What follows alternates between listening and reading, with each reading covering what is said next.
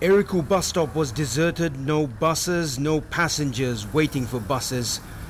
At the main market bus stop, only one PMV arrived. Those desperate to get home climbed through the windows. All over Lae City were scenes like this adults and school children all making their way home on foot. Near the Bumayong PTC area, the PMV that was burned at about 10 a.m. yesterday. Eyewitnesses said the driver and the passenger were nearly slashed by knife wielding youths who attacked the bus as it was dropping off passengers.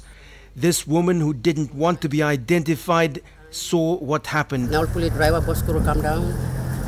Na rolling tu plang one knife na go down. Em no good passing all making. Schools in this part of the city have also been suspended. The Education Office has instructed schools to suspend classes until the tension eases. The community is established standstill. Therefore, education office, I think, or some, it's still tense. Therefore, after fourth period, or you must go back to homes safely. It's understood the bus was burned in retaliation for the death of a man who was reportedly thrown out of a running PMV along this stretch of the PTC road. Circumstances surrounding his death remain unclear at this stage.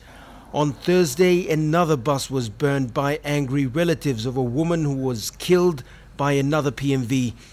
They picked on the vehicle in retaliation, they stoned it, and then burned it. Provincial authorities are negotiating with bus owners for services to be restored, but it's not clear if services will resume tomorrow. Scott Waide, National EMTV News, 累。